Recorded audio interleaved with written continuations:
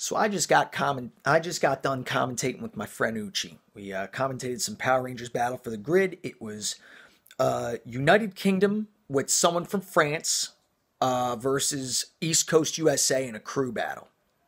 It was a lot of fun. First time I commentated for a little bit, felt good. Tried to get my mother on camera, but she hates being on camera, so she was she was a crafty one. She managed to avoid it. She knows my tricks. But um I spent all week catching up on my wrestling shows. So I'm kind of like all wrestlinged out, but happy I did it cuz now I just relax until the next catastrophe comes, whenever that may be.